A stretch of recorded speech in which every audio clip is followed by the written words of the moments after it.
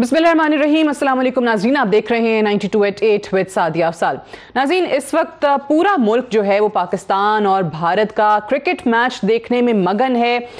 ये क्रिकेट कम होता है और नर्व्स की गेम, असाब की जंग जो है वो ज़्यादा होती है। एक तरफ़ ऑब्वियसली ये मैच चल रहा है और तमाम पाकिस्तानियों की दुआ है कि पाकिस्तान आज का ये मैच जीते, क्योंकि हमारे लिए ये फाइनल मैच वर्ल्ड कप के फाइनल मैच से भी बड़ा बन जाता है जब भारत मद्दे मुकाबल होता है। और दूसरा, सियासत की मैदान में बात करें तो एक मैच कल बलूचिस्तान असम्बली में खेल, खेला जा रहा है और वहाँ पर देख रहे हैं हम, बड़े अरसे से प्रैक्टिस जारी थी net practice warm up matches हो रहे थे। अब कल बिलाखिर वहाँ पर फाइनल जो है वो खेला जाएगा। आ, हम देख रहे हैं कि जाम कमाल साहब के ख़िलाफ़ ये जो तहरीक अदम अतमाद दाखिल हुई बलूचिस्तान असम्बली में पैंसठ में से उनतालीस अरकान की जो प्रेस कॉन्फ्रेंस हुई उसमें ये ज़ाहिर हो गया कि तहरीक अदम अतमाद के मुखालिफ लोगों की अक्सरियत ज़्यादा है। आ, और ऐसा लग रहा है आज पूरा दिन अगर आप देखें सोशल मीडिया पर जाम कमाल साहब के जो बयान आए जो उनके ट्वीट्स रहे ऐसा लगता है कि शायद उन्होंने भी ये एक्सेप्ट कर लिया है या उनको भी ये नज़र आ रहा है इस अक्सरियत को देखने के बाद कि कल वो इस मैच में हार जाएँगे। लेकिन साथ ही साथ उन्होंने कुछ सवाल भी उठा दिए, वो भी ज़रा आपके सामने रखते हैं। कि एक तो उन्होंने वज़ी अजम इमरान खान साहब से कहा कि वो अपने इर्द गिर्द जो लोग हैं उनका जायज़ा लें। फिर ये भी कहा कि यहाँ पर ये जो नुकसान होगा, उसके ज़िम्मेदार बाप के नाराज़ ग्रुप के लोग होंगे, पीडीएम के चंद लोग होंगे चंद माफियाज होंगे और पीटीआई भी इसमें शामिल होगी। फिर ये भी कहा कि वज़ी अजम इमरान खान फेडरल मेंबर्स को कहें कि वो बलूचिस्तान के मामला में मुदाखलत ना करें। सो जाम कमाल साहब, इसके पीछे बहुत सारे महरक़ात देख रहे हैं, उनको बहुत ज़्यादा अवामिल नज़र आ रहे हैं, जिसके बायस वो ये शायद अब समझ पा रहे हैं कि कहाँ कहाँ उनके ख़िलाफ़ ये कॉन्स्परेसी जो है वो हुई, जो बकौल उनके कॉन्स्परेसी है, बकौल उनके साजिश है, और वो कहते हैं कि जी मेरे, मुझे निकालने के लिए तमाम रकीब जो हैं वो अब इकट्ठे हो गए हैं। इस पर एक तो बात करेंगे। मेहमानों का आपसे तारुफ करवा दें। सेनेटर जहांजेब जमाल दीनी साहब हमारे साथ मौजूद हैं, सीनियर रहनुमा B N P Mengal Liaqat Shahwani साहब हमारे साथ मौजूद हैं, तर्जुमान बलोचिस्तान हुकूमत हैं। शहजादा जुल्फ़ार साहब हमारे साथ मौजूद हैं, सीनियर सहाफ़ी हैं, तजियाकार हैं और बलोचिस्तान के हवाले से भी और ओवरऑल सियासत के हवाले से भी काफ़ी गहरी नज़र रखते हैं। मीर असदुल्ला बलोच साहब भी हमारे साथ मौजूद हैं, पार्लिमानी लीडर हैं बी एन पी अवामी के। आप चारों को प्रोग्राम में खुश कहते हैं। और आप चारों को ही हमने आज क्रिकेट मैच तो नहीं देखने दिया लेकिन कल बलूचिस्तान असम्बली में हमने कहा मैच पे आपसे बात कर लें। पहले तो शहजादा जुल्फ़िकार साहब आपका तजिया ज़रा आ जाए। कल क्या लग रहा है आपको कि बलूचिस्तान असम्बली में ये मैच किसके हक में जा रहा है? देखिए इस वक्त तो बिल्कुल मैच तो बिल्कुल जिस तरह ओवर्स कम रह जाते हैं और आप शायद उसको आपने जो टारगेट दिया जाता है और उस टारगेट को आप मीट नहीं कर रहे हैं। बिल्कुल ये वाजे है और जाम कमाल साहब उनके साथी खुद जानते हैं कि इस वक्त उनके पास नंबर गेव में कमी है। लेकिन वो इतने कॉन्फिडेंट है कि उनके जो एएनपी के दोस्त हैं बाप के कुछ अरकान हैं जेडब्ल्यूपी का एक बंदा उनके पास है पीटीआई के भी शायद पहले थे। हम्म। अब जब उन्होंने रवैया देखा प्राइम मिनिस्टर का तो शायद उस पर वो बैंक नहीं कर रहे हैं लेकिन वो आ, कह तो नहीं रहे हैं वो अपने इत्यादि कह रहे हैं इस वक्त लेकिन मेरे नुक़ नज़र में शायद पीटीआई हम्म। का इसलिए कि जब आ, कल उनके पास सादिक संजरानी साहब जो बहुत क्लोज समझे जाते हैं प्राइम मिनिस्टर से और उनके डिफेंस मिनिस्टर जो पीटीआई के हैं जी वो आए और उन्होंने कह दिया कि जी और प्राइम मिनिस्टर को भी इन्होंने कन्विंस किया कि नंबर गेम में वो लूज कर गए हमें उनको कंटिन्यू हिमायत करने का कोई फ़ायदा नहीं है और इनको कहा कि आप रिजाइन करें और उन्होंने बड़ी मुश्किल में डाल दिया। इस वक्त जो लोग अच्छा, हैं ये जो, जिन विफाकी मेम्बरान का ज़िक्र कर रहे हैं जाम कमाल साहब अपनी ट्वीट्स में वो एक तो सादिक संजरानी जो हमने देखा अभी वक्तन फवक्तन वहाँ दौरे पर आते रहे और उन्होंने मसालत कराने की कोशिश की। परवेज खटक साहब का भी कोई अमल दखल है? देखें बिल्कुल। देखें सादिक संजरानी ने ही ये तमाम स्टार्ट की। और क्योंकि वो उनके फेवरेट हैं उनके कुद्दूस और जिस तरह कुद्दूस के छह महीने में उन्होंने बलोचिस्तान में जितनी उनकी से थी जितनी उनकी चलती थी वो शायद अब नहीं चलती और जाम साहब हम्म। जाम कमाल साहब के उसमें इतना वो नहीं है हम्म। इसलिए ये उन्होंने स्टार्ट किया और उनके लिए मेरे ख्याल में आगे उनकी नज़र जो कहा जाता है अमूमन कि ट्वेंटी ट्वेंटी के इलेक्शन में उनकी एक नज़र चीफ मिनिस्टरशिप पे भी है और उनमें ये सलाहियतें इस तरह से हैं ये ये मानना पड़ेगा कि वो जिक जैंक बड़े हम्म। चीज़ों को समझते हैं और बड़े कम वक्त में वो जहाँ पहुँचे हैं तो और किसके बलबोते पर पहुँचे हैं। वो वो बहुत उस तरफ़ उनकी नज़र है। और कल का जो है अब मुश्किल सारा ये है कि इन्होंने बड़ा आसाबी जंग थी बड़ा उन्होंने जाम कमाल साहब को बड़ा वो ट्रैप करने की कोशिश की कि वो इस्तीफा दे देंगे बहुत से मामला हल हो जाएँगे कराची से नवाब सनावला जहरी को नहीं आना पड़ेगा और कोई इस तरह वो नहीं होगा और लेकिन हम्म। ये ये बड़ा बड़ा मुश्किल में उन्होंने डाल दिया। आज भी एक ऐसी शख्सियत आए हैं इस्लामाबाद से और वो भी मेरे ख्याल में कोयटा में है और अभी तक शायद मुलाकात उनकी नहीं हुई है। उनकी मुलाकात हो जाएगी लेकिन कोई कुछ आ, बड़ी शख्सियत हैं आप रहने दें मेरे ख्याल में शायद आप के लिए और मेरे लिए भी ठीक नहीं है कि मैं बोलूँ कि कौन लोग लेकिन अच्छा बड़ी आ, लेकिन हाँ जी बड़ी, बड़ी शख्सियत हैं। आप कह रहे रहने देते हैं चले। जी लेकिन काफ़ी काफ़ी बड़ी शख्सियत हैं जिनसे शिकवा है जाम कमाल साहब को। लेकिन सादिया सादिया लेकिन ये ज़रूर कहता हूँ बड़ी शख्सियत का अमल दखल बहुत है गुलिस्तान में। जी जी। और अगर वो और मेरा हम्म। मेरा मेरा तजिया ये है। मेरा तजिया है वो भी इधर आए हैं और इनको मनाने के लिए कि मामला बहुत हो जाएँगे आप इस्तीफा दे जाम कमाल साहब का एक स्टैंड है कि डेमोक्रेसी में ये है अच्छा। मैं खुदा करे चार मेरे पास हूँ पाँच हूँ आप मुझे निकाल दें वो नो कॉन्फिडेंस अब शायद नो कॉन्फिडेंस से क्यों बचना चाहते हैं ये लोग कि नो कॉन्फिडेंस ना आए और उनको इस्तीफे पर मजबूर किया जाए हालाँकि अगर इनके पास इनके पास गेम भी पूरे हैं फोर्टी वन इनके हम्म। पास हैं जिस तरह वो क्लेम करते हैं और है भी तो बहुत इनके पास तो बड़ा अच्छा मौका है कि उनको वोट आउट कर दें उनको डिप्राइव okay. कर दें। फोर्टी वन से उनको निकाल देना बड़ा इनका ज़बरदस्त वो भी होगा। ये बड़ा इंटरेस्टिंग पॉइंट आपने रेज किया है क्योंकि ये मैं ठीक है मैं सेनेटर जहांजेब जमाल दीनी साहब आपसे पहले तो ये इस पे बात कर लूँ। ये जो शहजादा जुल्फिकार साहब भी बात कर रहे हैं क्योंकि ये खबरें आई जिस तरह इन्होंने 41 कहा कि ऑपोजिशन क्लेम करती है कि हमारे पास 41 लोगों की हिमायत है। फिर प्रेस कॉन्फ्रेंस में भी उनतालीस के करीब मेम्बरान मौजूद थे तो अक्सरियत तो आप लोगों ने दिखा दी। लेकिन ये बड़ा इंटरेस्टिंग नुकता है और सवाल है कि अगर वाकई आप लोगों को इतना कॉन्फिडेंस है कि ये तहरीक अदम अतमाद आप लोगों के हक में ही जाएगी, जाम साहब के खिलाफ ही जाएगी तो फिर ये बार बार क्यों बात की जा रही है कि इस्तीफ़ा दे दें, इस्तीफ़ा दे दें? अगर वो इस्तीफ़ा नहीं भी देते तो कल तो आपके पास वैसे ही रास्ता है, कल ग्यारह बजे वैसे ही वोटिंग हो रही है। शुक्रिया सादिया, मैं बेसिकली दो चीज़ों पे जो है ना ज़रा कुछ ज़्यादा ज़ोर दूँगा। पहली बात तो ये है कि बलूचिस्तान में जो। है ना बदबख्ती ये है कि आपको हम्म। पता है अब तीन साल के बाद वोट ऑफ़ नॉन कॉन्फिडेंस यहाँ पे मूव होती है। उसकी बुनियादी कुछ वजूहत तो होंगी कुछ कमजोरियाँ होंगी। हम्म। जो हुक्मरान होंगे होते हैं यहाँ पे जो चीफ एग्जीक्यूटिव होता है सूबे का उसमें कोई कमज़ोरी तो होती होगी इस वजह से उसके खिलाफ जो उसके अपने लोग उठ खड़े होते हैं।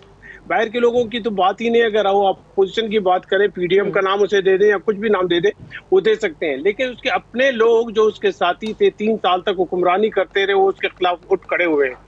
अब जो है ना, बजोर ताकत या कुत या मुख्तलिफ़ अदारों को इस्तेमाल करते हुए अगर आप लोगों को जो है ना, वोट देने से इज्तनाब करवाएँगे, उसे कहीं पे बंद करवा देंगे, या वो वोट के दिन जो है ना, कहीं मबूस रहेंगे तो इसका मतलब ये होगा कि जमहूरियत पे आपका अपना यकीन है नहीं। अगर आप जमहूरियत पे यकीन करते हैं तो जो बंदे इस वक्त आपके कंट्रोल में या कहीं पे आप उसे रख चुके हैं उन्हें आज़ादाना आप छोड़ दें। अले कल जो ना इंतबात आपके जो ना मेरे ख्याल में वोटिंग होगी। वोटिंग में इतनी तमाम चीज़ें क्लियर होंगी। जाम साहब मोहतरम के हक में होंगी तो वज़ीर आला होंगे अगर उसकी मुखालफत में जाएँगे तो ज़ाहिर है वो शिकस्त खा जाएँगे। अब इसमें कमज़ोर पहलू ये है कि ये लेकिन आप तो कह रहे हैं ना कि आपकी गिनती पूरी है। सूबे में होती है। 41 मेम्बरान हैं। गिनती गिनती गिनती मेरे ख्याल में फोर्टी वन से भी ज़्यादा है। अगर ये पाबंदियाँ जरा हटा दें लोगों को जो ना ज़्यादा ना छोड़। Okay. अब रही बात जो है ना फेडरल गवर्नमेंट की तरफ़ से जो है ना मुदाखलत आना जाना और लोगों पे प्रेशर डालना कि आप इसे वोट दे उसे वोट दे। अब जाने ये जो प्रेशर अच्छा, सिंड्रोम हमारे मुल्क में आप, आप, आप, आपकी नज़र में कौन लोग हैं? ये जिनका ज़िक्र जाम कमाल साहब ने भी अपनी ट्वीट में किया कि वज़ीर आज़म अपने इर्द गिर्द के लोगों को जरा देखें उनका जायजा लें। फिर जिन्होंने जो बलोचिस्तान में नुकसान के जिम्मेदार होंगे वो बाप के नाराज़ लोग होंगे माफियाज होंगे पीडीएम होगी और पीटीआई होगी। सो वो कौन से लोग हैं जो आपको भी लग रहा है कि फेडरल गवर्नमेंट के हैं जिन्होंने मदाखलत की देखें पीडीएम को तो आप पीडीएम को आप सेपरेट रख रहे हैं पीडीएम वैसे भी उनके जो गुड बुक्स में है ही नहीं शुरू से आज तक। लेकिन सवाल ये पैदा होता है कि पीटीआई के दोस्त और उसके अलाइज हम्म। खासकर जो है ना बाप पार्टी के लोग वो तो उसके अपना अलाइज थे। तीन साल तक तो हुक्मरानी के मज़े लूटते रहे। और अगर आप आज वो भी इससे बेजार है वो भी इससे दूर रहना चाह रहे हैं तो इसका मतलब कुछ कमज़ोरी तो जाम साहब में ही है। अब उसकी वजह बुनियादी तौर पर यह है कि डिस्क्रिमिनेशन उसकी कोशिश ये रही है कि मैं अपने पसंदीदा छह दस बारह अच्छा। जो है ना वजरा को पालता रहा हूँ संभालता रहा हूँ उन्हें जो है मैं इस पे भी आ जाऊँ। ओके इस पे भी बात कर लेंगे। अगले राउंड में मैं इस पे भी बात कर लूँगी कि आप ये जो कह रहे हैं कि उनकी अपनी कमजोरियाँ ही रही हैं जिसकी वजह से ऐसा हुआ है लेकिन मैं अगर मीर असदुल्ला साहब आपसे भी जानना चाहूँगी कि आपको क्या लग रहा है जाम कमाल साहब के लिए ये जो मुश्किल आई और कल ऑब्वियसली उनके खिलाफ इस तहरीक अदम अतमाद पर वोटिंग भी होने जा रही है। वो क्या अवामिल थे? वो क्या अनासर थे? क्या महरक़ात थे जो इसका सबब बने? थैंक यू ये गवर्नमेंट जो जिस टाइम फाब हुई थी मकसद तो यही था कि पाँच साल हम कंप्लीट हम्म। करें और अपनी आवाम की खिदमत करें। एक टीम होती है टीम का एक सरबरा होती है उनकी ज़िम्मेदारी होती है कि वो अपने टीम के साथ सलाह और मशवरे के तहत इस सूबे के मामला को चलाए आवाम को मुतमिन करे आवाम की बुनियादी जो नीड हैं वो जो ज़रूरत हैं उनको पूरा करे लेकिन इस तीन साल के जो पीरियड था हम्म। जाम ने हमेशा अपने को अकल कुल समझा न किसी से सलाह की ना किसी से मशवरा किया। अच्छा। तो उन्होंने जो बलूचिस्तान की जो डेवलपमेंट की जो वो बातें कर रहे हैं उन्होंने सिर्फ़ तीन चार ऐसे हलकों में ज़्यादा से ज़्यादा फोकस की और वो एक अपने तौर पे एक जहन बना रहा था कि आने वाले तेईस के इलेक्शन के बाद मैं मज़ीद 2028 तक बड़ा जमा रहूँगा। लेकिन हम समझते हैं कि उसकी टीम के साथ जो ताल्लुकात बनाने का था इस सूबे को चलाने का था, उसकी हटदर्मी उसकी अनापरिस्ती ने ये हालत आके उसके सर पे कड़े किए हैं। तो एक पार्टी बनाई गई जो बाप के नाम पे जल्द जल्द से जल्द ये पार्टी बनाई गई। हम तो उसके इत्यादि हैं। ये सूबे में पहली दफ़ा है कि जी। एक महीने के अंदर पार्टी बनाई गई उसको बीस पच्चीस सीट मिली सेनेट में उसकी अच्छी खासा तादाद हुई। नेशनल असम्बली में पाँच सीटें उनकी हुई। ये हम्म। हमारे पार्टियों ने 20-20 साल स्ट्रगल किए हैं इतनी बड़ी स्ट्रेंथ नहीं थी। मरकज़ का भी सपोर्ट था इसको। तो वजूहत जाम खुद थे जाम एक नाकाम वज़ीर अला रहे। इसीलिए ये हालात उसके लिए ये आज पैदा हो गए हैं। अच्छा। हम समझते हैं कि इस वक्त जो नो कॉन्फिडेंस मोशन हमने जो मूव किए ये एक जमहूरी अमल है। और इस जमहूरी प्रोसेस में अगर जाम को अखलाकियात सियासी अखलाकियात की हम जो बातें करते हैं वो भी कभी दर्श देते हैं तो उन्होंने 20 तारीख को हमारे पाँच बंदों को अगवा करने की कोशिश की गई। किसी हद तक वो कामयाब हुआ। बाद में नाकामी उसकी हम्म। रही कि हमने बड़े पैमाने पे स्ट्रगल हम्म। किया। और वो पाँच जो हमारे तीन खवातीन लाला रशीद भी साथ था लेकिन बाद में आ गया। जी। इसके साथ ही हम समझते हैं उनको ज़रूरत कैसी महसूस हुई। अगर आपके उनके पास कोई मेजॉरिटी थी तो आजादाना जमहूरी एक अमल था प्रासिल चल रहा था। अपनी जहाज़ पे। सरकारी जहाज़ तमाम उन्होंने हरबे इस्तेमाल किए कि किसी तरीके से इसको रुकवाया जा सके तहरीक अदम अतमाद को जिसमें आपने कहा कि आपके लोगों को गायब भी किया गया अगवा भी किया गया। इसका जवाब ज़रा लिया शहवानी साहब आपसे लेते हैं लेकिन बड़ा अहम नुकता जो मीर साहब ने यहाँ पे रेस किया है कि देखें जाम कमाल साहब एक एक जमात अलग बनी एक तमाम हम कहते हैं कसीरुल नज़रियाती लोगों को जो है वो इसमें इकट्ठा किया गया। मरकज़ की सपोर्ट तमाम बासर लोगों की सपोर्ट होने के बावजूद क्या वजह है कि वो इस नहज तक ये मामला आ गया और उनको आउट करने के लिए ये करारदाद आ गई? देखिए नाराजगियाँ ग्रीवेंसेज अपोजिशन में भी हो सकती है गवर्नमेंट ट्रेजरी बेंचेस में भी हो सकती है कैबिनेट में भी किसी घर में भी। हम्म। और तीन साल तो जाम कमाल साहब ने, असद बलोच साहब भी उस कैबिनेट का हिस्सा रहे और असद साहब एज ए मिनिस्टर उनकी ज़बरदस्त परफॉर्मेंस रही है और बलूचिस्तान के लिए जो इतनी डेवलपमेंट की गई है, ये सिर्फ़ जाम कमाल साहब ही नहीं, बल्कि कलेक्टिव एक एफर्ट पुट किया है पूरी कैबिनेट ने, पूरे गवर्नमेंट ने। और, जो एक असद बलोच साहब ने भी ज़्यादा इशारा जो वो कर रहे हैं वो रवैयों के हवाले से कर रहे हैं। और एक गिला जो है खुलकर जो सामने आया है हमारे नाराज़ दोस्तों का वो ये कि जाम कमाल साहब मुलाकात कम करते थे वक्त कम देते थे। आ, ये एक मेन इशू रहा है। और इसी के बुनियाद पे कुछ ग्रीवेंसेस रहे हैं। लेकिन डिज़ाइन जो है जो हमें समझ आती है वो 13 सितंबर को वोट ऑफ़ नो कॉन्फिडेंस जो मूव किया गया वो पीडीएम की तरफ़ से किया गया वो हमारे दोस्तों की तरफ़ से नहीं किया। और इस बात का इतराफ जो है हम्म। एक एमपीए है पीडीएम के लाइव शो में उन्होंने इतराफ भी किया कि चिंगारी ये हमने लगाई है। और ये जो बिसात बिछाया इन्होंने लेकिन पीडीएम को अपने स्ट्रेंथ पे यकीन नहीं था। बाद जो हमारे नाराज़ दोस्त थे उनको उन्होंने इंस्टिगेट किया प्रोवोक किया। और एक vote of no confidence motion उन दोस्तों की तरफ़ से आया और हमने दोस्तों को बनाने की ज़बरदस्त कोशिश की और अब तक भी वो कोशिश जारी है और अब कल। जो मैदान नहीं देखिए ये, ये तो आप जो कह रहे हैं चले पीडीएम ने की हो जिसने भी की हो उन्होंने आग लगाई जो भी है लेकिन ये तो ऑब्वियसली सियासत का हिस्सा है वहाँ पे आप लोग अपने हरीफों के खिलाफ ऐसे ही करते हैं तरीके दम एतमाद आना अर्ली इलेक्शन हो जाना इन हाउस तब्दीली आ जाना ये तमाम चीज़ें डेमोक्रेसी में होती हैं जमहूरियत में होती हैं। लेकिन अगेन मेरा सवाल ये है कि फिर तमाम तर सपोर्ट होने के बावजूद भी यानी फिर यही तस्लीम कर लिया जाए कि जाम समा जाम कमाल साहब ही उस तरीके से हुकूमत को नहीं लेकर चल सके उसी में उन उन्हीं को उनके तर्ज अमल की वजह से कामयाबी नहीं हो सकी क्योंकि सपोर्ट सारी उनके साथ थी। देखिए अगर हुकूमत गवर्नेंस डिलीवरी का नाम है तो तीन सालों में जितनी डिलीवरी हुई है कोई एक सेक्टर बता दें जिसे पीछे छोड़ा होगा। बलूचिस्तान की पहला कैंसर हॉस्पिटल इसी गवर्नमेंट में शुरू हुआ। पीड्स ऑनकोलॉजी इसी गवर्नमेंट में 270 प्राइमरी स्कूल्स नए बने, दो सैंतालीस प्राइमरी स्कूल अपग्रेड हुए 142 मिडिल स्कूल अपग्रेड हुए। पहला गर्ल्स कैडेट कॉलेज हिस्ट्री का इसी गवर्नमेंट में बना। पाँच नए हॉस्पिटल्स बने दो स्पेशल इकोनॉमिक जोन बनने जा रहे हैं तीन मार्बल सिटीज़ हैं चार मिनी इंडस्ट्रियल स्टेट्स हैं तेरह बॉर्डर मार्केट्स हैं।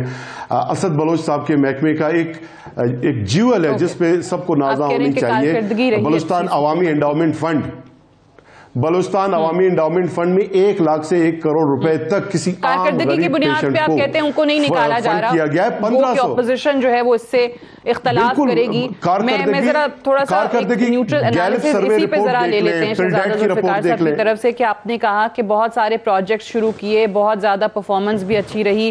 कारकर्दगी को किस तरीके से आप शहजादा जुल्फिकार साहब रेट करेंगे? और साथ ही साथ कि सिर्फ़ और सिर्फ़ ये सियासत हुई ऑब्वियसली सियासतदानों का काम है सियासत करना सिर्फ़ और सिर्फ़ सियासी बयानबाजी या सियासी जो हमारी सियासत के अंदर एक ग्रीवेंसेज हैं उसकी नज़र हो गई या परफॉर्मेंस भी कहीं ना कहीं बड़ा सवालिया निशान रही है? देखें बात यह है कि परफॉर्मेंस ग्रीवेंसेस की वजह बनी है। इसलिए कि अपोजिशन जो है आ, उनके उनको ज़रूर एक इशू हम्म। था कि हमें आपने पीएसडीपी में और फंड में और जो डेवलपमेंट फंड है वो उसमें आपने हमें ठीक शेयर नहीं दिया। वो उनको हो सकता है ग्रीवेंसेज और अपोजिशन का काम ही ये होता है कि अपोजिशन जो है वो करप्शन के इल्ज़ाम लगाए और पता नहीं क्या क्या कुछ करके और अपना एक लीडर उसके लिए कोशिश करे और अपना एक लीडर सामने लाए और उस गवर्नमेंट को हटा दे। लेकिन अपोजिशन ने इस तरह नहीं किया। विद इन पार्टी जिस तरह डॉक्टर साहब ने कहा बिल्कुल विद इन पार्टी जो है चीज़ें उठी। लेकिन ये बिल्कुल बात तीन साल के बाद जो है अगर कोई ये कहता है कि जाम साहब अखले कुल अपने आप को समझता है तो तीन साल के बाद इनको क्यों वो पता चला? या अगर नहीं पता चला तो अभी तीन साल के बाद पता चला तो पाँच साल के बाद okay. पता चल जाता। लेकिन इशू ज़रूर है। देखिए बात यह है कि ये हर चीफ मिनिस्टर नवाब बुक्टी साहब हों आपके ज़फ़र मीर ताज मोहम्मद जमाली मरूम हो या उसके बाद अख्तर मेंगल साहब के साथ असद बलोच उस पार्टी में थे और उसके बाद जाम यूसुफ साहब हो जो इनके वालिद हैं या नवाब असलम रैसानी या डॉक्टर मालिक या नवाब सनाउल्ला जहरी प्रेशर बढ़ जाता है दो तीन साल के बाद जो है ये लोग तमाम प्रेशर जो है वो उठाना शुरू कर देते हैं और कहते हैं कि जनाब इनको फारिग करें इनको निकाल दें और इनको हम्म। वो क्योंकि प्रेशर पोस्टिंग ट्रांसफ़र है और ये मिजाज है हमारे एम का कि वो खुली छूट चाहते हैं और वो चाहते हैं और मेरे ख्याल में नवाब असलम रैसानी के दौर अच्छा। में कोई मेरे ख्याल में इसको डिनाई नहीं करेगा कि खुद एमपीए खुद अपने अपने डिपार्टमेंट से वो लेते अब फ़ाइल लेते और चीफ सेक्रेटरी से लिखवाते और वो इसका इंतज़ार नहीं करते कि एक पूरा प्रॉपर थ्रू प्रॉपर चैनल से सारा कुछ जाए। खुद अच्छा यानी आप ये कह रहे हैं कि ये तमाम एमपीएस जो थे अगर इनको खुली आज़ादी मिल जाती ये छूट मिल जाती पोस्टिंग्स ट्रांसफर्स के हवाले से। वहाँ पे सीएम साहब का अमल दखल ना होता तो ये दबाव भी इन पे ना आता और ये सब कुछ नहीं होता। यस ऑफ़ कोर्स देखिए आज़ादी नहीं दी जाम कमाल साहब ने इन्हें। छह महीने कुद्दूस साहब का छह महीने सबके सामने है। कुद्दूस इस वक्त फेवरेट है। फेवरेट क्यों है? इसलिए कि उसके छह महीने थे उस छह महीने में अपोजिशन ने भी उस वक्त भी जब निकाला उनको नवाब सनाउल्ला जहरी साहब को फोर्स किया और उन्होंने इस्तीफा दिया जब वो लूज लूज कर गए अपने मेजोरिटी और उसके बाद सब खुश रहने लगे। और लेकिन अब अब भी यही मुझे नज़र आता है कि ज़ाहिर है ये ग्रीवेंसेज उनके उनके कोलिशन पार्टनर को भी थी कि बात चीज़ें उनके तबीयत के मुताबिक स्मूथली नहीं चल रही। जी। हम्म। अच्छा वेरी इंटरेस्टिंग तो ये अगर डॉक्टर जमालदीनी साहब मुझे ये बताएँ कि ये वो इनके अपने लोग जो आ, आ, बाप पार्टी के थे जिनको अब हम नाराज़ अरकान कहते हैं आ, या फिर जो भी एलाइज थे अगर उनको यही तमाम चीज़ें मिल जाती हैं जो जुल्फ़िकार साहब जिनकी जानब इशारा कर रहे हैं और बार बार जाम कमाल साहब भी यही कहते थे कि भाई मैं आ, उस तरीके से इख्तियार इनको नहीं दे सकता कि जिस पर स्क्रूटनी ना हो जिस पर जाँच पड़ताल ना हो जिस पर नज़र ना रखी जा सके और यही सबब बनाए उनको निकालने के लिए। देखें जी ये जो अल्फाज मेरे दोस्तों ने आपके सामने पेश किए मैं इनसे इतफाक नहीं करता उसकी वजूहत मैं आपको बताऊँ जब तक आप डिस्क्रिमिनेशन नहीं करेंगे हम्म। उस वक्त आपके दोस्त नाराज़ क्यों होंगे अगर आप प्रॉपरली उन्हें फंड दिया करते हैं इस वक्त फंड जो है ना डिस्क्रिमिनेशन सबसे ज़्यादा अपोजिशन के साथ हो रही है आप अंदाज़ा लगाएँ कि अपोजिशन को अगर सात करोड़ मिल रहे हैं जो अच्छा। एक कॉन्स्टिट्युएंसी को लीड करते हैं वहीं से बाकायदगी से कामयाब हो चुके हैं लेकिन उसके अलावा बाप पार्टी के और उसके मुखालफी जो आर हम्म। चुके हैं उनको जो है पच्चीस से तीस करोड़ रुपए जेब खर्चा और बाकी एक अरब के करीब उनको जो है पीएचडीपी में दिया जाता है। ये उनको मिलने के अलावा जो खराब पहलू उसमें निकल आती है ये है कि ये जो है ना इख्तियार मामूली से इख्तियार एक पीएन उसके ट्रांसफ़र को भी जाम साहब ने अपने जेब में रखा हुआ था। एक सेक्रेटरी छोटे से सेक्रेटरी मैं बताऊँ कि आपको एक अच्छा। जो है छोटे से टीचर की भी ट्रांसफ़र उसके उसके उसके बगैर नहीं होती थी। और आप अंदाज़ा लगाए कि डीडीडब्ल्यूपी में जब फाइलें जाती हैं, जिसे जो है ना मेरिट पे देखा जाता है, ये नहीं देखा जाता है कि बीएनपी के हैं, जमीयत के हैं या कौन सा पार्टी के उसे जो है ना बाकायदा अप्रूव किया जाता है और उसे फेडरल गवर्नमेंट भेज दिया जाता है ताकि फेडरल गवर्नमेंट से फंड लाया जाए। लेकिन इसकी डिस्क्रिमिनेशन यहाँ तक है कि सीएस को इन्होंने कहा हुआ था कि अपोजिशन का कोई भी फ़ाइल जब तक मैं उसे देख न लो अप्रूव नहीं करूँ उस वक्त तक आप मुझे नहीं भेजे।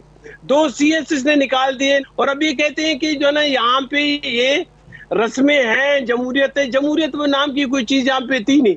अब आप अंदाज़ा लगाएँ कि हमारे से आप अपोजिशन से तो आप गिला कर सकते हैं। लेकिन सवाल ये पैदा होता है कि आप अपने लोग जो आपके साथी थे आप कहते हैं कि मैंने इन्हें फ़र्ज़ भी दिए इन्हें मुराद भी दिए इन्होंने इससे मुस्तफ़ भी हुए। उसके बाद आप इस हद तक आपसे मुतनफिर हैं। कि इस वक्त जो है कम अज कम बाईस तेईस बंदा बंदे आपके ठीक है ये पार्टी और सही है। इस पे वो कहते हैं कि भाई उनको भी इस्तेमाल किया गया उन पर भी दबाव आया। अब वो ही बार बार बात कर रहे हैं कि अगर आप कहते हैं कि उनको फंड्स मिले उनके भैया सही था उनके साथ डिस्क्रिमिनेशन नहीं हुई तो वो फिर आ, उनके खिलाफ क्यों हुए? मैं ब्रेक ले लूँ ब्रेक से वापस आएँगे मीर असदुल्ला साहब की जाने पे जाएँगे कुछ सवाल उनके लिए भी जुल्फ़िकार साहब ने रेस किए उनसे जवाब लेंगे एक वक्फे के बाद।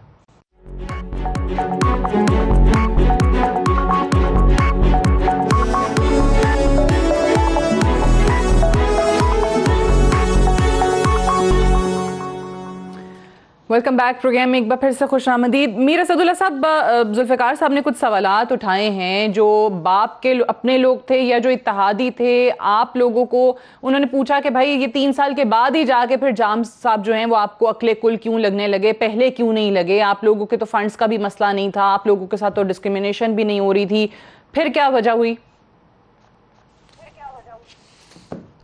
देखें एक चीज़ अपनी जगह असूली तौर पे चीज़ों को देखा जाए शुरू में जब गवर्नमेंट हमने बनाया था उस गवर्नमेंट के कुछ पैरामीटर्स थे। उसके हवाले से हमारी तजावीज़ थी हमारा मौक़ था हमने विज़न अपने दिया। मैं बी एन पी अवामी का मरकज़ सेक्रेटरी जनरल हूँ। उस वक्त जाम ने सारे चीज़ों को एक्सेप्ट किया। बाद में वक्ता फ़वक्ता हमारी इस तीन अच्छा। साल के दौरान डिस्कशन रही। कैबिनेट के मीटिंग में हमने उनको बताया कैबिनेट के मीटिंग के बाद वन टू वन उनसे मीटिंग की हमने बताया। वो हमेशा एक लफ्ज़ इस्तेमाल करते हैं डन। लेकिन उन्होंने फिर अमल नहीं किया। ये सिलसिला हम्म। चलता रहा। उसकी जो रवैया था वो जमहूरी अमल से वो प्रोसेस से गुजरा तो कहते हैं। लेकिन उन्होंने किसी को वो इज़्ज़त वो रिस्पेक्ट नहीं दी जो शुरू में हमारी उनके साथ एक कमिटमेंट हुई थी। देखना तो ये है कि इस जमहूरी अमल में किसी को भी आप वज़ी अला बनाते हैं, वो ख़ुद एक एम पी ए है, अपने हल्के से जीत के सिंगल एम पी ए है वो। फिर मजमू तौर पे मिल मिला के हर इलाके के जो वहाँ से लोगों ने अपनी मैंडेट ली है, वो एक बंदे पे एतबार करते हैं, उनको सपोर्ट करते हैं वज़ी अला बनती है। इसका मतलब हरगिज़ ये नहीं होगा कि आप उसके हम्म। हल्के में जाम साहब ने अपने हल्के में 22 अरब रुपए लेके गए और वो बलूचिस्तान की बात करते हैं। बलूचिस्तान अच्छा। में आधा बलूचिस्तान तो अपोजिशन के पास है जिन्होंने अपनी हलकों से आवाम ने उनको मैंडेट दी थी। हमने कैबिनेट में भी बोला असम्बली के फ्लोर पे मेरे स्पीच भी मौजूद हैं। कि जाम साहब अब बलूचिस्तान की डेवलपमेंट की जब बात करते हैं तो उसमें अपोजिशन भी है उनके हलके भी हैं। लेकिन उन्होंने उनके हलकों में पैसे तो दिए लेकिन उन लोगों को दिया जो उसके लाइक डिसलाइक में थे जिन्होंने इलेक्शन में हिस्सा भी नहीं लिया था। तो ये ऐसी चीज़ें हैं ये एक हवस था उनका। ठीक है। इस जमहूरी अमल को उन्होंने सही तरीके से चलाने की कोशिश नहीं की। बादशाह अलग चीज़ें तो हम समझते हैं कि तीन साल बाद जो कह रहे हैं कि। आपको याद कैसे आया तो हम समझते हैं हमें याद तो पहले था हम्म। वो जो एक कमिटमेंट था जो हमारे साथ एग्रीमेंट था उस पे अमल उसने नहीं किया आज इसलिए उसको ये रिज़ल्ट नज़र आ रहा है कि आज हमारे साथ नाराज़ आप कहते हैं नाराज़ तो हम पहले थे। आपने टाइम दिया। आपने जैसे कहा कि वो हर चीज़ पर कह देते थे डन लेकिन वो होता नहीं था उस पर अमल नहीं होता था। आ, जो आपने बात की जाम साहब जो हैं वो तरीके अदम एतमाद लाने वालों ये बात कर रहे हैं कि जी इकतदार के भूखे हैं और लालच के भूखे हैं ये भी अपना शौक़ पूरा कर लें। उन्होंने जैसे आज ट्वीट में अपनी कहा लेकिन मुझे ये बताइए कि वो बार बार जाम साहब ने कहा कि मैंने अपना फ़ैसला जो है अपना इख्तियार जो है वो अपने ग्रुप के आ, लोगों पर छोड़ दिया है तहादियों को दे दिया है जो मेरे साथ खड़े हैं। तो उनको इस टाइम पे क्या मशवरा दिया जा रहा है? उनके अपने करीबी साथियों की तरफ़ से क्या कहा जा रहा है? पिछले दिनों जो खबरें आई कि इस्तीफ़ा दे दिया उन्होंने तरदीद कर दी कि इस्तीफ़ा नहीं दिया। बहुत लोग सोच रहे थे कि तहरीक अदम अतमाद से आउट होने से बेहतर है कि वो खुद ही रिज़ाइन कर देंगे। क्या अभी भी इसके कोई चांसेस मौजूद हैं ऐसे अरकान हैं जो कहते हैं कि जी ग्यारह बजे वोटिंग से पहले ही रिज़ाइन कर दें। ये जो लालच की बातें कर रहे हैं जाम साहब को हमने सीएम बनाया। सीएम का मनसब एक इतनी बड़ी पोस्ट है कि वो तो 24 घंटा भी काम करे इस पसमानदा सूबे के लिए। मेरे ख्याल में कम रहेगी। मुद्दतों से ये पसमानदा हम्म। सूबा रहा। इसकी डेवलपमेंट के लिए एक प्लान होती है। लेकिन जाम साहब सीएम के अलावा पीएनडी का डिपार्टमेंट भी अपने पास रखा। हेल्थ का डिपार्टमेंट भी अपने पास रखा माइंस का डिपार्टमेंट अपने पास रखा इन्होंने जंगलात का डिपार्टमेंट अपने पास ही रखा। तो ये हवस किसकी है? दूसरी बात यह है हवस उन लोगों की होती है माजी से इसके दादा फिर परदादा फिर वालद इसका अभी खुद अपने बेटे को भी तैयार कर रहा है। तो हवस किस चीज़ को बोलते हैं? मैं समझता हूँ कि हम्म। जमहूरी अमल में 20 तारीख तो आपको लगता है कि वो चौतीस बंदे थर्टी फोर बंदे थर्टी फोर बंदे उठ के जाम साहब के खिलाफ उन्होंने नो हम्म। कॉन्फिडेंस मोशन में हिस्सा लेके हम्म। जमहूरी अमल को साबित कर दिया तो वो फिर भी अभी बैठे हुए हैं बरा जमा बैठे हुए हैं खुद कहते हैं मेरे पास 26 लोग हैं 26 तो गवर्नमेंट तो नहीं कर सकती है उसके लिए सादा अक्सरियत जो बनती है 33 बनती है मैं यही समझता हूँ कि जो लालच की उन्होंने बात की है तो वो खुद अपने साथ सवाल कर रहा है। जवाब उसके खुद अपने इस अमल में खुद ही है। मेरे ख्याल में ऐसी जवाब देने के लिए कुछ जाम साहब ने अपनी बहुत से चीज़ों को जो इल्मी और सलाहियत हैं इस दौरान वो शिकस्त खुर्दा हैं। अभी जो हमें कह रहे हैं कि मैं तो इस्तीफ़ा देने के लिए तैयार हूँ अच्छा। लेकिन मेरे कुछ डिमांड हैं। तो हम कहते हैं कि जो शिकस्त खुर्दा लोग होते हैं वो अर्ज़ करते हैं डिमांड नहीं करते हैं रिक्वेस्ट करते हैं। वो तो हमने सुना था हमने सुना था कि ये बात कही जा रही है उनकी तरफ़ से कि इस्तीफा वो दे देंगे लेकिन ये पहले तरीके अदम अतमाद जो है वापस ले ली जाए। मुझे एक ब्रेक लेनी है ब्रेक से वापस आकर इस पर भी ज़रा बता दीजिएगा कि ये इसमें कितनी हकीकत है। मैं जमालदीनी साहब से पूछ लूँगी फिर शहवानी साहब मौजूद हैं तो उनसे भी जानेंगे कि वो दोस्त उनके क्या मशवरा दे रहे हैं जिस तरीके से जाम साहब कहते हैं कि मैंने अपना इख्तियार अपने जो इतिहादी हैं या अपनी बाप पार्टी के जो लोग मेरे साथ खड़े हैं उन पर उनको दे दिया है और वो फैसला फैसला कर दें। एक ब्रेक ब्रेक से वापस आएँगे डिस्कशन को आगे बढ़ाएँगे। स्टेट्यून्ड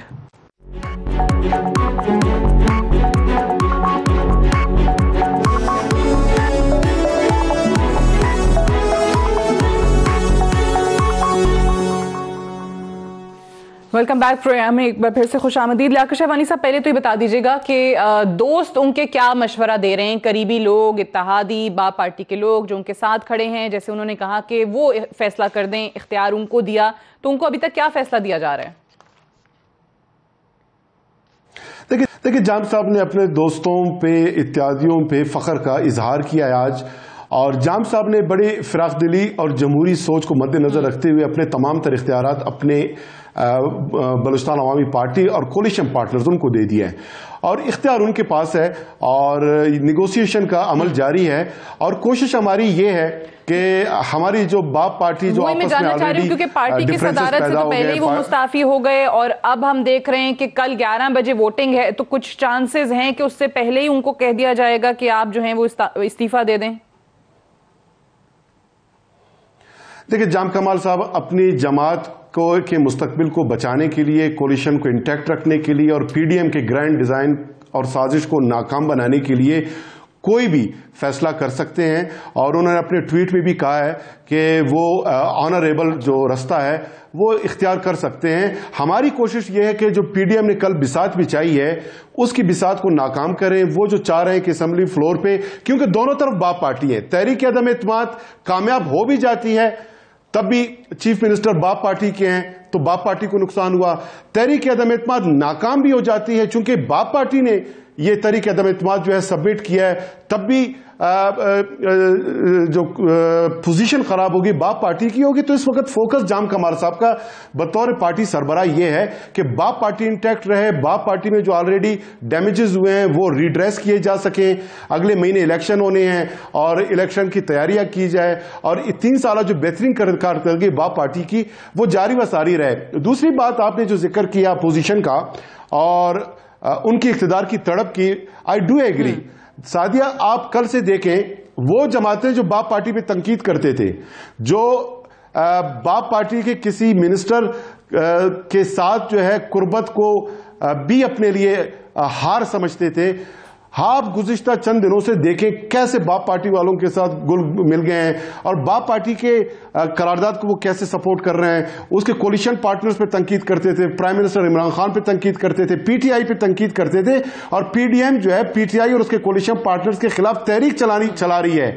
लेकिन इकतदार ने इनको हम्म। इतना हंदा कर दिया है और बुग्ज जाम कमाल साहब में ये अपने सारे नजरियात अपने उसूल अपने अफकार सारे बुला के एक चीज़ तो बड़ा अच्छा हुआ इस एक महीने में जो नजरियात अफकार सियासत की बात करते थे जमहूरियत की बात करते थे ये सारा एक्सपोज हो गया इस वक्त जो है, है। न बंदा रहा न बंदा नवाज़ सभी एक सफ में खड़े हो गए। ये भी आपके लिए, मेरे लिए, सबके लिए ये बहुत बड़ी बात है, जो इनकलाबी बातें करते थे, वो कैसे एक्सपोज हो गए बाकी this is the political process political process है डेमोक्रेटिक प्रोसेस है इस वक्त जाम कमाल साहब का जो फोकस है वो बाप तो पार्टी को बचाने और कोलिशन को जो इंटैक्ट रखने कहा कि वो ऑनरेबल रास्ता लेंगे तो इस बात से तो ये समझ में आ रहा है कि जैसे कल वो वोटिंग से पहले ही हम खबर सुन रहे होंगे कि उन्होंने खुद ही इस्तीफा दे दिया है। मैं एक सवाल जमाल दीनी साहब आपसे करके फिर मैं जुल्फिकार साहब की जानब जाऊँ कि ये बात इसमें कितनी सदाकत है जो हम सुन रहे हैं कि ये कहा गया कि अगर करारदाद ये वापस ले ली जाए तरीके अदम अतमाद नहीं आती है इसको वापस ले लिया जाता है तो वो खुद ही इस्तीफ़ा दे देंगे ये कोई बात हुई थी या ये कंडीशन उनकी तरफ़ से आई थी देखिए जी वो कहते हैं कि जो ना तैरने वाले को जो ना तिंके का सहारा जो डूबने वाला है उस तिंके का सहारा ये जाम साहब जो है ना हमारे हम्म। लिए अदरवाइज़ काबिल कदर है लेकिन उसकी उसने जो गलतियाँ की हैं कुछ अर्से पहले से आज तक ले उन गलतियों में वो खुद डूब चुका है। अब रही बात जो है ना, हमारे दोस्त अक्सर जो है इसे अपोजिशन पे डाल देते हैं कि अपोजिशन जो है ना इनसे मिलना नहीं चाह रहे थे, इनके इनके इनके करीब नहीं आना चाह रहे थे, आज वो अपने मतलब की खातिर इनसे मिल चुके उसकी वजह, वजूहत मैं आपको बताऊँ। मैं आपको, आपके सामने बताता हूँ कि मुझे किसी से कोई तो है नहीं कि बलूचिस्तान के मसाइल आज के जाम साहब और कल कोई और वज़ीर आला है, उनसे सॉल्व कर सकते हैं। लेकिन एक चीज़ है, जो डिस्क्रिमिनेशन मैं बार बार बता रहा हूँ, कि अपोजिशन के नुमाइंदे, जो अवामी नुमाइंदे, जो वोट ले चुके हैं, अगर उनकी मुखालफी को आप इसी तरह जो है ना संवारते फिरते रहेंगे, उन्हें जो है ना बेनतिया फंड देंगे, उन्हें जो है ना फोकियत देंगे अपोजिशन के जो है ना कॉन्फ्रेंसी के मालिकों के से तो नफरतें तो बनती हैं। हम तो कल भी ये कह रहे थे, उन दिनों में वोट ऑफ़ नॉन कॉन्फिडेंस में भी, हमने इसी पॉइंट पे भी जो है ना ज़ोर दिया था कि भाई आप अपोजिशन को वही फंड जो आप अपने लिए लेते हैं वो हुकूमत के फंड थे ये आपके अपने घर के नहीं है वो इन्हें भी दे दे। हम्म। अब रही बात जो है ना जाम साहब की तारीफ़। तारीफ़ तो ज़ाहिर है जो भी बंदा उसके करीब होगा उसकी तारीफ़ क्या करेगा जो दूर होगा उसकी तारीफ़ नहीं करेगा। आज जो है ना बीस पच्चीस आदमी उसके अपने पार्टी के लोग उससे मुतनफिर है। उससे दूर है उसके खिलाफ वोट ऑफ़ नॉन कॉन्फिडेंस में जा चुके हैं। यहाँ तक शायद उससे मिलने को भी तैयार नहीं है। तो अच्छा एक एक, एक मिनट। ऐसे लोग हैं। मैं कहता हूँ जाम साहब के ग्रुप में साथियों में अच्छे लोग बिल्कुल हैं। मैं नहीं कहता हूँ कि नहीं है। लेकिन उनमें से जो है ना चंद ऐसे लोग हैं। जिन्होंने जाम साहब को न्यायत ही गलत अंदाजे गलत तरीकों पे डलवा दिया। नफरतें उन्होंने वहाँ पे उनके जहन में जो है ना मुंजमद करवा दी पैवस करवा दी। और जाम साहब उनकी बातों में आकर आज इस मोड़ पे करे हैं कि उनके साथी खुद उसके करीब आने से कतराते हैं उससे दूर भागने की कोशिश करते हैं। और रही बात जब इस्तीफा की मैं कहता हूँ कि इस्तीफा वो दे ना दे कल 11 बजे तक मेरे ख्याल में तमाम चीज़ें क्लियर हो जाएँगी। हम्म। अगर बेजती से उन्होंने बचना है तो सुबह है वो तो वोटिंग हो जाएगी वो तो पता चल जाएगा अक्सरियत जैसे आप लोग कहते हैं आपके पास है तो फिर कमाल साहब जो है वो ज़ाहिर है उनका फ्यूचर बतौर सीएम साहब जो है वो तो खत्म हो जाएगा।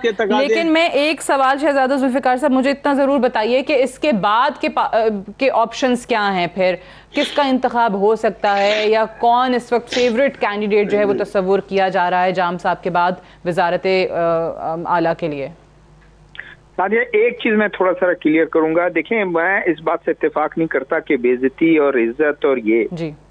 बात ये है कि ये जमहूरी हम हाँ और खासकर खासकर एक आम आदमी ये बात करे तो ठीक है हम तो सारे आ, वो जो इलेक्टेड लोग हैं या पार्लियामेंट में रहे हैं ये उसका हिस्सा है।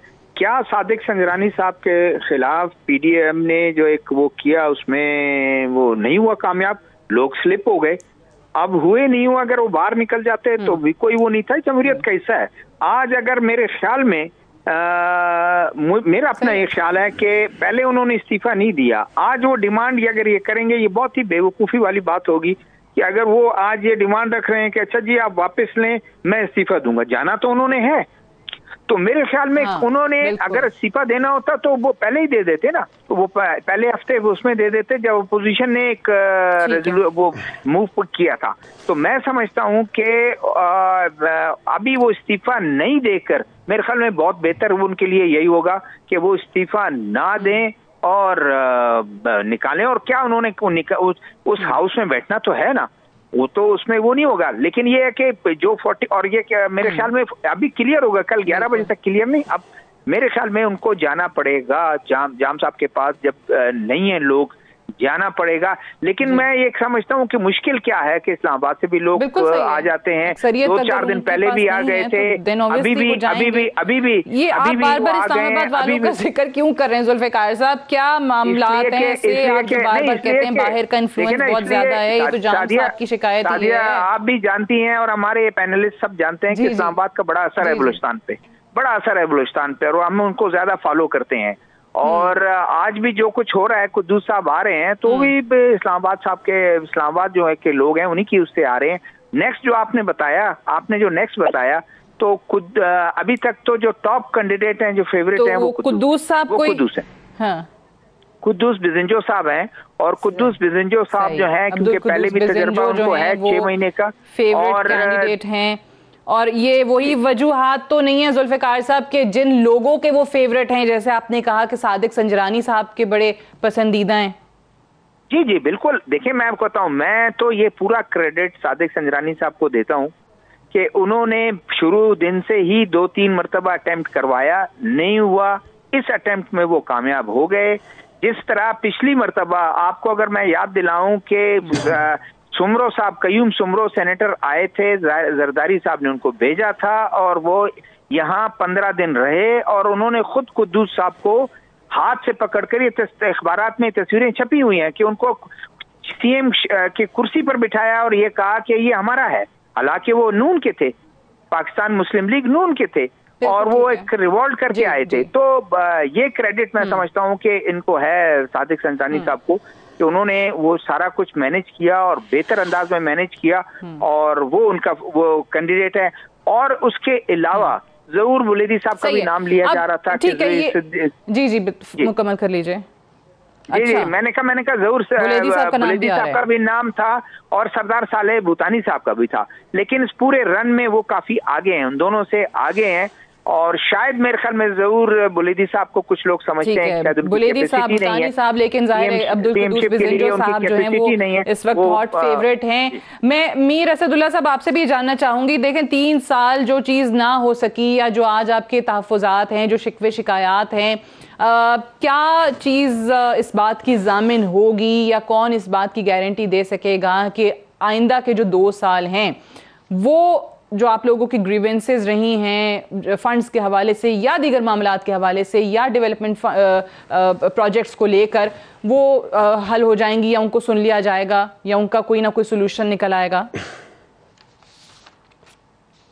मैं तो ये दावा नहीं कर सकता हूँ कि अभी एक बजट रह गया है चार बजट से गुज़र गए हैं और अठारह महीने रह गए हैं सवा तीन साल हम्म। गुज़र गए हैं इन 18 महीनों में बहुत बलूचिस्तान में डेवलपमेंट होगा, तारीख़ी डेवलपमेंट होगा, पसमानदगी ख़त्म होगा, ये मैं नहीं कह सकता हूँ, ये दावा नहीं कर सकता हूँ, लेकिन हम सिर्फ़ जाम को हटाने के लिए, जाम साहब को इस मनसब से हटाने के लिए ना हमारा ज़ाती ख्वाहिशात हैं कि इसको हम हटाएँ, दूसरे को लेके आएँ।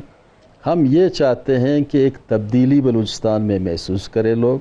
बलूचिस्तान के जितने भी बाईस तेईस डिस्ट्रिक्स हैं कुलियता यकसान लोगों को फंड मिले डेवलपमेंट के हवाले से और इस डेवलपमेंट के असरात आवाम तक पहुँचें। यहाँ बेरोज़गारी है बलूचिस्तान में।